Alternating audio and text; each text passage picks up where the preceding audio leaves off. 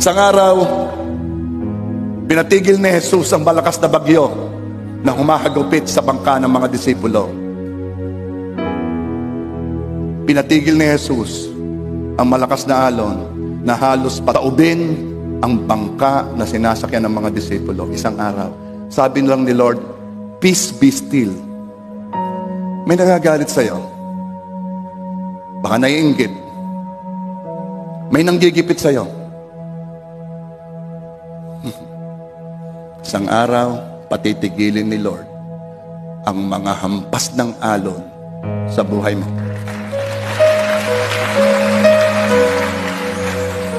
May mga usapin sa properties. May mga usapin sa lupa, sa bahay. Manda ka. Ito'y nakaka-stress na sa'yo eh. Hinahampas ka ng alon. Sa araw, at yun ay ngayon, sinasabi ng Lord, Be still, be still. May umaagaw ng iyong posisyon. May umaagaw ng tayo mo.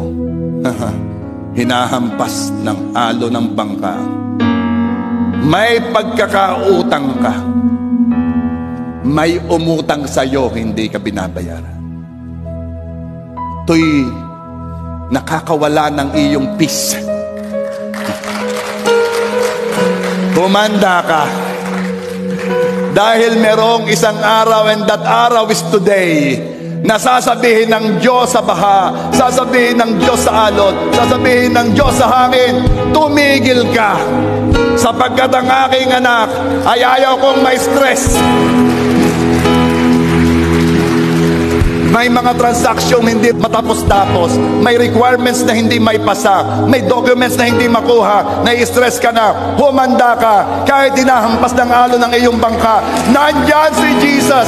At si Jesus ay tumatayo at sinasabi, Peace be still!